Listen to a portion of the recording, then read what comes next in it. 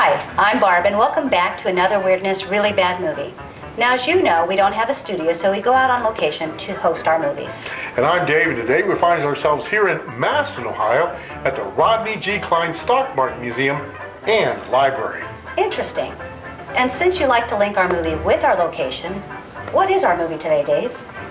Well, Barb, since we're here at a stock market museum, I thought we'd show the movie Nothing But the Truth. A nice little 1929 comedy where a stockbroker has to tell nothing but the truth for 24 hours.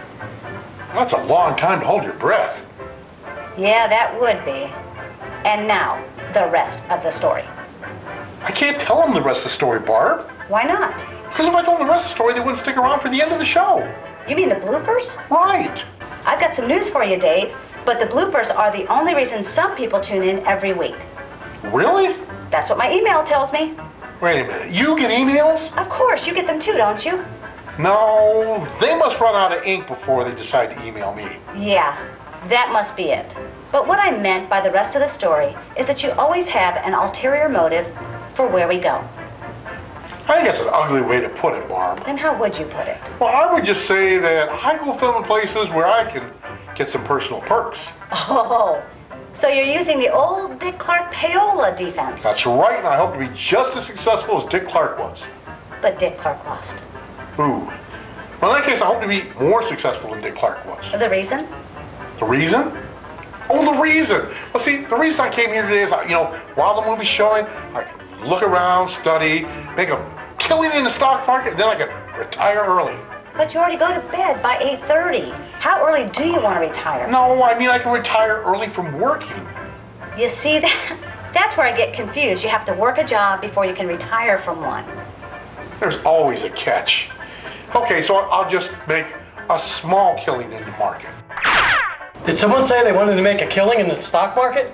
Are you a stockbroker? Uh, I've been called that. Then you're a financial planner. I've been called that before too. Then let's try this one. Are you a con man? Like I said, I've been called many things, and you know, you look like a very intelligent woman. Thank you.